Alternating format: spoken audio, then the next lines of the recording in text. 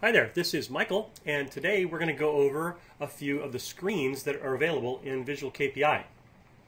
Let's take a look at the screen here. What are we looking at? On the left is a regular browser, and that's pointed to one of our Visual KPI servers in a different uh, city.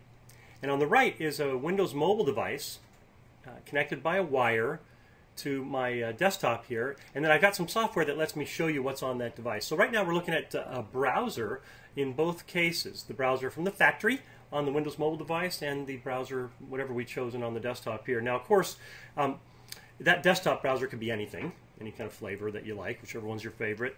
The uh, real phone there, it could be anything. It could be a BlackBerry, an iPhone, uh, Windows Mobile, of course, uh, or really anything else, Droid or, or a Nexus One. Uh, and I want you to know there's no software running on that device. It's strictly just a, a uh, browser that comes from the factory.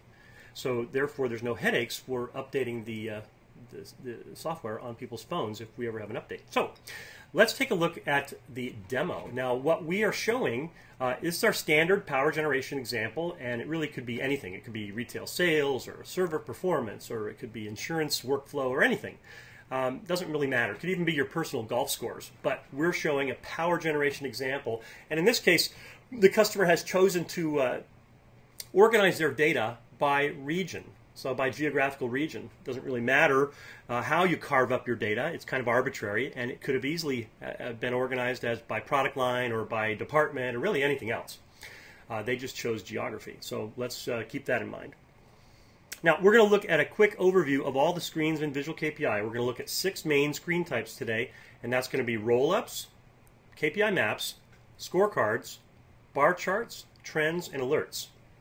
First, let's take a look at roll-ups. They're right here in front of us. Now, these things are uh, uh, percentage bar charts, and they kind of summarize what's going on at a particular level. So each line on here is a roll-up bar chart, and if I mouse over it, Let's click on this and mouse over it. It's going to tell us on that level there's 400 KPIs, or on this level there's 75 KPIs. And this bar tells us that most of them are in the green state, or as you can see from the legend, they're in the good state.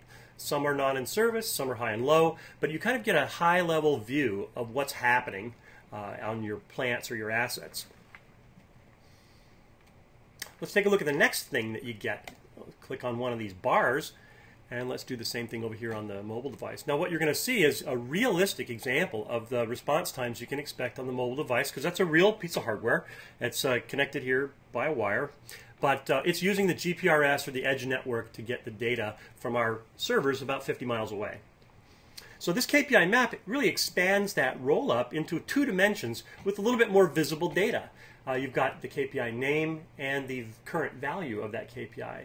Now over here on the mobile device, you can see you don't have all that same data. You've got to kind of click on it to see what's going on because there's not a lot of screen real estate for text that's readable. So uh, we have to resort to just a color coding it. But uh, you can always get at what's underneath the KPI by just clicking on it. Now, what are we going to look at next? The third type of thing I want to show you is uh, a scorecard. So let's go ahead and drill down into one of these scorecards. Let's do the same thing here. These scorecards really organize the KPIs in, in kind of a, uh, a normal, um, you know, very easily read way where you've got the, KPI name on the left, you've got the current state, whether it's high or low, uh, with uh, the shape color redundancy there. And then you've got a little sparkline uh, which shows you the recent trend activity, where that KPI has been, and maybe kind of where it might be going. Uh, actual and target values. Now you get the same data on both devices uh, just organized and formatted for the device that uh, that you're looking at. Now, these this is a very convenient way for people to keep all their most favorite uh, metrics in their pocket and uh, available at all times, so they know when they're looking at this that they are up to the second uh, and uh, um, have the latest data. So from here, we could look at bar charts, which give you the same data but organized a little bit differently. These bar charts kind of orient the KPIs for a quick assessment of whether they're in compliance with the, target values and the limits. So you can see the bar chart itself is the actual value of the KPI, and little carets here uh, pointing up. Those are the target values with the hash marks being the, the limits. Now from here, or from anywhere else you see a symbol, you can go straight to what we uh, call the trend. So the trends are pretty cool because they tell you uh, in detail where that KPI has been. And you can do some really wild things here, uh, both on the desktop, you can do things like zoom in and out. Uh, and on the handheld, of course, you can not do that, but you can scroll back and forth, change the x-axis time frame, all kinds of stuff. So if we wanted to change this to a, a seven-day trend, well, we'd get a lot more data. We can do the same thing on the handheld device, and this the response is pretty snappy. We're getting a, a lot of feedback from customers that this is a, an amazing amount of data in a short amount of time. So there you have it for a trend. Now, what happens when a trend crosses one of these boundaries is that we generate these things called alerts. So let's take a look at what an alert might look like over here.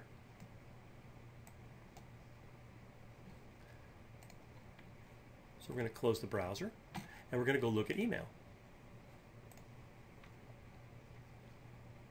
Here's our Outlook email. And let's maybe take a look at an alert that happened, oh, let's say uh, a little, little while ago. So let's just take a look at this one. The alert consists of some text that tells you what happened. And re remember, this is happening when the KPI value deviates from its expected behavior. And of course, it would just be the same as, um, let's say, a pager, uh, except that we've got this extra context. So when you click on the link, it's going to build you a context for what happened to that KPI, and it's going to show you right where that deviation happened. So we can see that here, it's been bumping up and down for a little bit, but then it crossed that, that threshold right at that point. And we can drill in and see more detail if we need to. But what this gives you is the ability to make an assessment really quickly of whether or not you need to go take some action. Let's see a different alert. Same kind of thing. It's going to give you the idea of what's going on, give you the, the previous status and what it is now. And you get the context of that KPI. So you know, hey, right at that point is when it deviated and went across that line. So let's wrap it up. What have we looked at here today? Uh, we, we have got six screens that uh, uh, that Visual KPI gives you. These screens are all auto-generated for every device on the fly, so every person can carry around the, the metrics that matter to them. Since there's no screens to build, you also have the advantage of no maintenance to build those screens. So I hope this has been interesting, and if you like, continue to watch more of the detailed videos that are available on Transpara.com.